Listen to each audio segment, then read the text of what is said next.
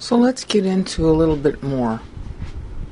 Because I want to show how pervasive this problem is of integrated hypocrisy.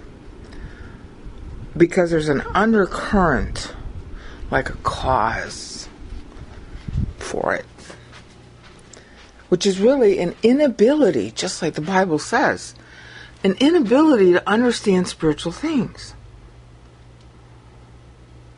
Well, yeah, if you're busy looking at your wife and not God, Adam, and you prefer the wife in the flesh you got standing there to God you only see, as it were, as the Bible puts it, in the breeze of the evening, breeze of the day, which is the evening. Um, you're gonna you're gonna start it's gonna influence the way you think period all of your thought processes are gonna go through as it were the flesh and you're not going to have any kind of vertical component as a result of choosing the woman over God. So, in order to understand, interpret, analyze anything, you're going horizontal to try to understand the vertical. Well, that's going to lead to some pretty cuckoo ideas. Even if you're trying to understand God, even if you want Him, if you're going through the horizontal to understand the vertical, instead of just looking up vertically at the ceiling and saying, Hi, I want to know you, if you try some other method, you're going to come up with garbage. But it's not merely garbage. There's where the other thing comes in the negative attitude that Adam had to have in order to choose a woman over God. There is a negativity, a distinct disdain against God and all vertical ideas of what have to end up being called spirituality because we don't know what else to call it. It's built into all of our concepts of anything vertical, not merely God. Now, the evidence that this is true is just all over the place. Look at every single sci fi movie ever made. Okay? There's a, a ton of evidence that what our ideas of otherworldliness are are just really just changes of skin. Okay? Changes of cultural habits. You know, Star Wars was a big blockbuster movie, okay? But they were basically all really living like humans do, except they had green skin or they looked more like animals. And maybe they breathed a different oxygen. You know, they breathed some kind of other kind of, you know, methane or whatever was the way they breathed, but they breathed. In other words, all of our ideas about what constitutes otherworldly are really just, what do you want to call it, permutations of the way we live down here. I'm not the only one to notice this, okay? But now take that same idea and port it over to all of the religions and all of the religious ideas and all of the ideas that we show in our public media. And it's really helpful, you know, to look at TV here. TV, movies, I mean, you know, to a certain extent in writing, you know, Ray Bradbury stuff, Frank Herbert in particular, he's really good at showing this. Um, if you take otherworldly and the whole God concept thing, in our literature, in specifically movies and TV, because that appeals to the masses, so it tells you what the masses like and what the masses buy into. Notice how a person who believes in a God concept of any kind or the supernatural is goofball. Notice how worship is always depicted as some kind of mindless ritual where you count beads or you chant or you sit still and you stand up and you sit down and you stand up and you sit down. Or you walk slowly and wear funky clothes. And you talk like this of the Holy One.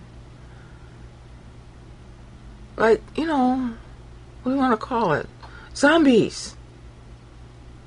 Pretty much, the, the message you're sold is that if you believe in some kind of God or gods or supernatural persons who have, you know, some kind of affair, some, you know, some kind of relationship to your life down here, that in order to relate to those people, persons, gods, that you have to have this mindless ritual full of all kinds of goofy behavior and special clothing and special buildings too.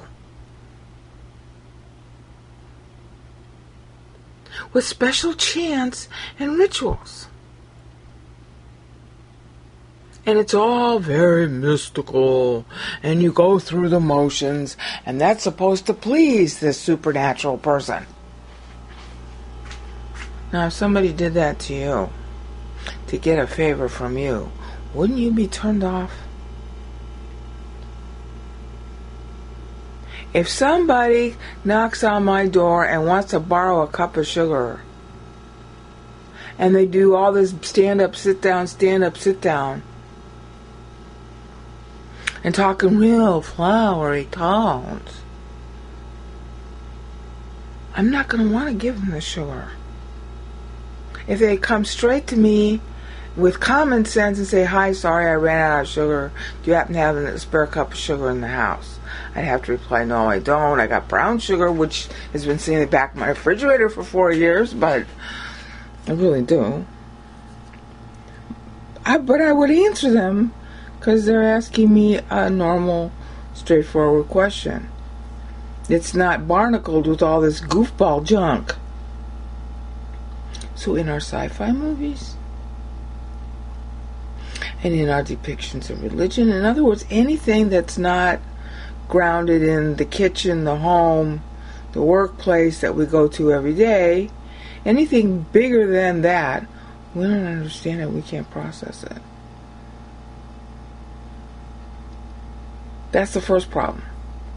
We depict it in goofball terms because we don't know how to think about it. And it always manages to be that those goofball terms are deprecating of the object, whether it's a sci fi object. I mean, how many cheesy sci fi movies have been made?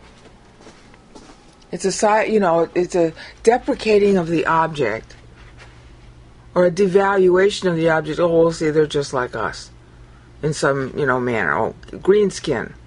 Looks like a, you know, Star Wars animal. You know, like that sort of like giant squid guy who played the general in Star Wars 2. You know, to try and fire on the Dark Star. I mean, we got we got really cheesy ideas about what you know beyond this world stuff ought to be. It's cheesy and it's deprecating of the object. They're just like us, except they're weird looking. And then serving God, oh wow, you know, it's got to be zombie movements. Which none of us would like if we were the object of those movements. Nobody likes a sycophant unless you you know really have ego problems. Nobody likes obsequiousness, the Uriah Heep type from Charles Dickens' novel. Okay, nobody likes that. So why do we expect a God person or gods or supernatural beings who somehow have, you know, some influence over our lives? Why do we expect them to like it? If they made us, we're like them. Okay, Bible even says that.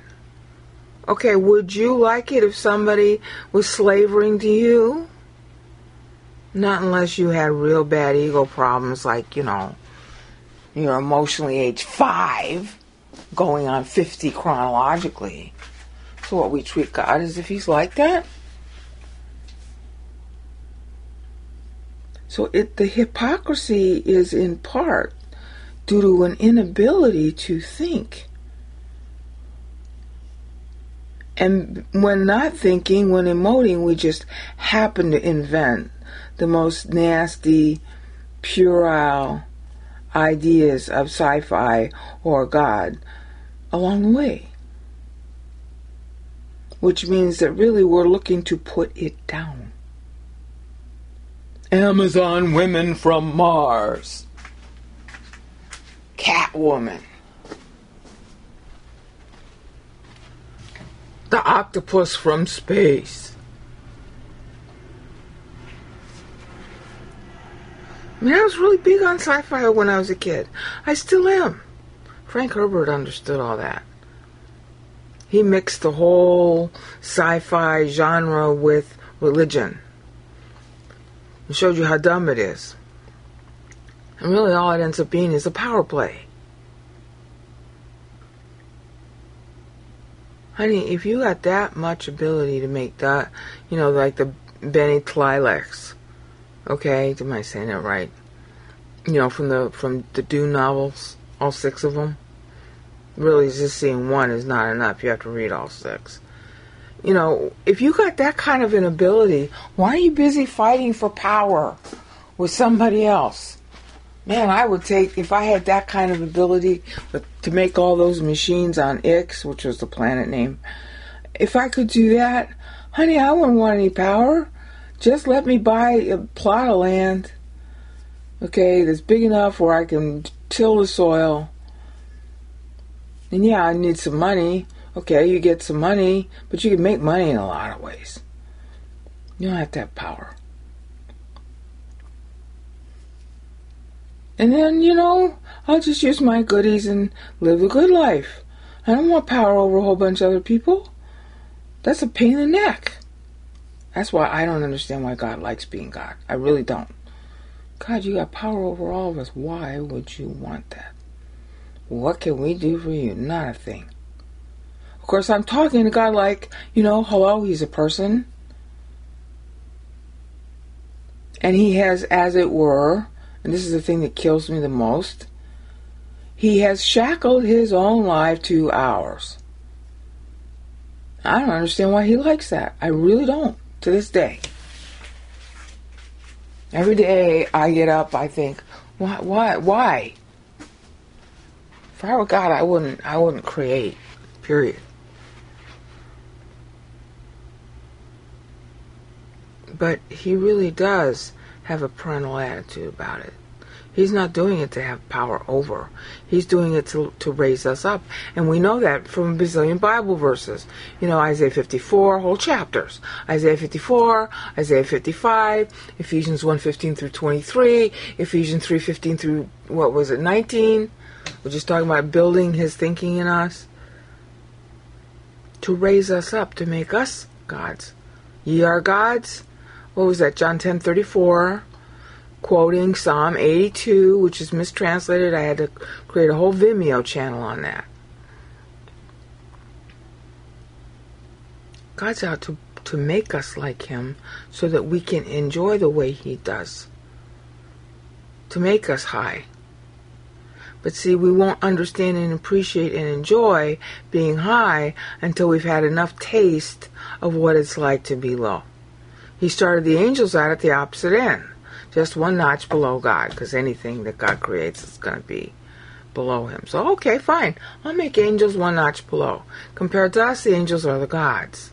And we even call them that. That's what the Bible uses as a term for it. B'nai Elohim. Elohim. The sons of God. Because they really are. So are you. God makes everybody directly. Every soul He makes directly. That's not at all like our depictions of sci fi or otherworldliness or spirituality, which is basically you know religified into a zombieism of one kind or another. Nam-myoho Renge Kyo. Nam-myoho Renge Kyo. That's some t- Tibetan chant. Or something baloney like that. They're all into the whole Tibetan thing is completely zombified. But so is all Hinduism.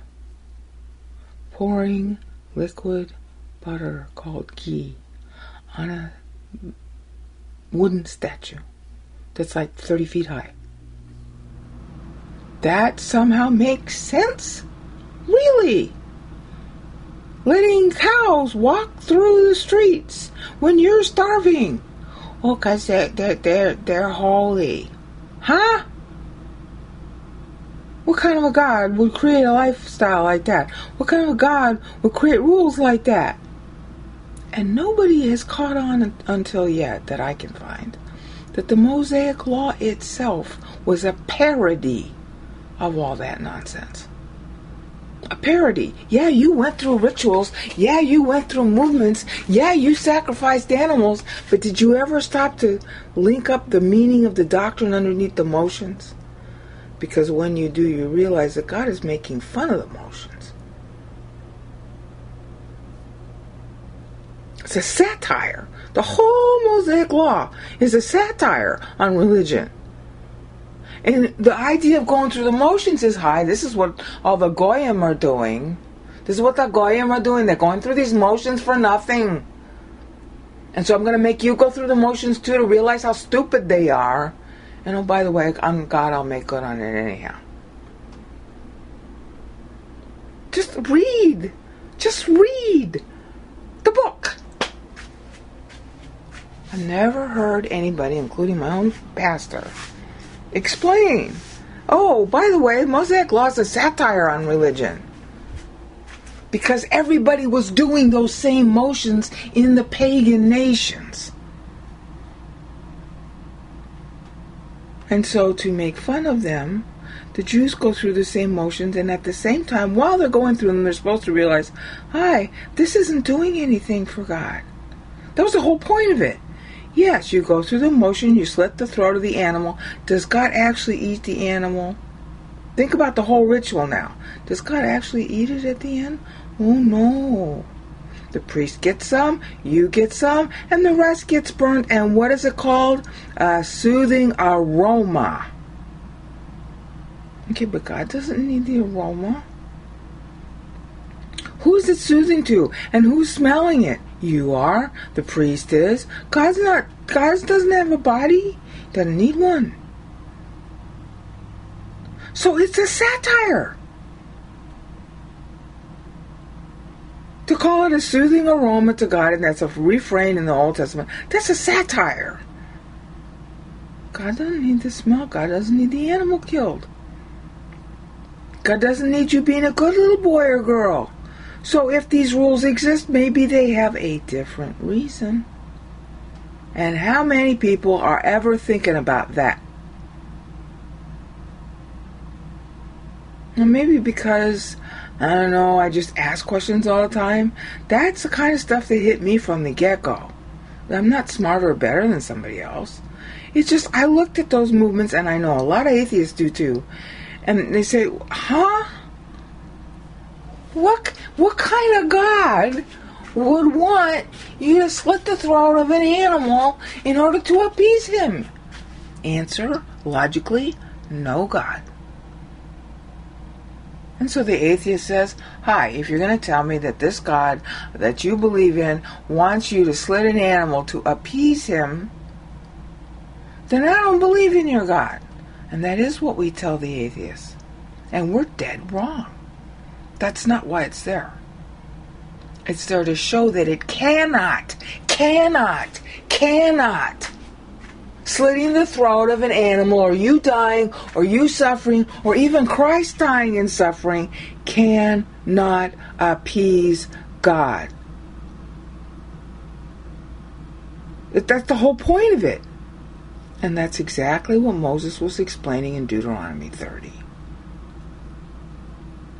the Jews, when they got the law, they said, What's this? What are we going to do? We're going to send up to heaven to have somebody explain how to follow this law. Are we going to send somebody down to the, the, the, the down to Hades to explain this law to us? No, you're supposed to think about it. And when you think about it, you conclude, oh, it's a satire. It can't be anything but a satire. Because if there's a real God, He is not pleased by you suffering. There is nothing you can sacrifice to give Him that's going to do Him a lick of good. Might do you some good. Might do the guy next door to you some good. But it ain't doing nothing for him. Duh!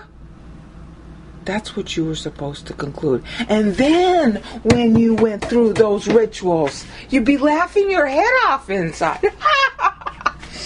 oh, I sin and I get dinner. That's what all the rituals mean. All the animal sacrifices. If you sin, you got meat. Because that was the law. When you sin, you sacrifice an animal, you have to eat some, and the priest eats some, and the rest gets burnt because it depicts what? The future God man voluntarily going to the cross. It's not depicting the animal. The animal isn't doing anything for God.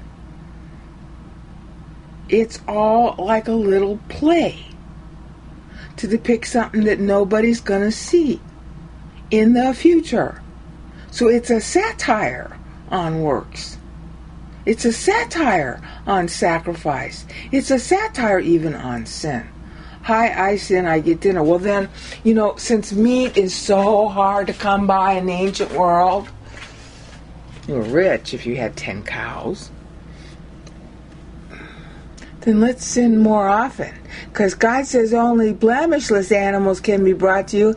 And hi, I don't know how to make a blemishless animal. So, God, you're going to have to make a lot of blemishless animals because you know what I'm going to sin? A lot. Because I like the way meat smells and tastes. It's a soothing aroma to me. And every time I sin, I have to take an animal to the priest. That's what you say in your law. Yeah, it is what he said. So you sin, you get meat. Aren't you going to want to sin?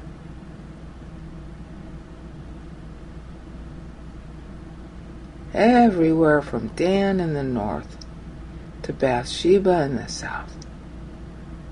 When anybody traversed Israel, they would smell meat all over the that would have made Israel automatically more famous than all the surrounding nations and would have created so much interest. People would go there just so they could smell the meat, because that's usually as close as most people even got to meat. Except maybe once or twice or three times a year during their, you know, their holy orgies. Then you got to have a little hunk of meat. Israel had to have it every day. Satire. But we we look at the Mosaic line, we don't get that. Oh no. We zombify it. The Jews zombified the law. They still do. Bobbing in front of the wailing wall. Bobbing in front of the wailing wall. Adonai Eloheinu, Adonai Erav. Baruch atah Adonai blah blah blah blah blah blah blah because they think that if they go through those motions and wear that tzitzit, those little tassels beneath their coats, with the big hats and the curly cues called payas. Oh, that's being holy to God. Really? And where does that say so in the Bible? Nowhere. But it's not the Bible we're following, is it? We hear a couple of words in scripture and then off goes our imagination, just like with those cheesy sci fi movies. And the Catholic version is no better, which passes itself off as Christian. I'm not saying the Catholics aren't Christians. You're a Christian if you believe Christ paid for your sins. But come on. And, you know, not to leave them out, the Protestants aren't any better. Everybody comes up with some kind of goofball cheesy sci fi like 1950s B movie sci fi idea of how, you know, it is for God to be God. Kind of like the stupid movie Contact, one of the dumbest movies ever made. Ugh, throw up just to think about it. Little balls of light. Oh, and then all of a sudden you're back. And nobody believes you. Honey, if that's what it means to be supernatural, nobody's going to want to be supernatural. Cartoony. You get the point? Integrated hypocrisy is deprecating of everything. But the large reason why is we can't read, we can't think, we can't process data, we can't analyze. So we just like imagine. And since the sin nature is controlling the whole thing, and the foundation of the sin nature is choosing the woman, a human, over God, therefore our imagination, without us even knowing it, zombifies sci fi and, you know, supernatural, God, which is a way to deprecate, to put it down. So, do you wonder why the atheist is an atheist? I don't. I mean, their arguments are pretty stupid, no offense. Not all the time stupid. Nobody's 100% stupid. But if they're busy looking at what we say the God concepts are, why aren't they going to reject it? And why the hell, when we actually do believe in Christ and have a spiritual life, why aren't we using 1 John 1 9 when we read the Bible? That we're not is demonstrated by all the cheesy sci fi movies and all the cheesy Bible movies, because there ain't never been one yet made that, golly, if it's 50% sensible, I'll need to shoot myself. Think about it.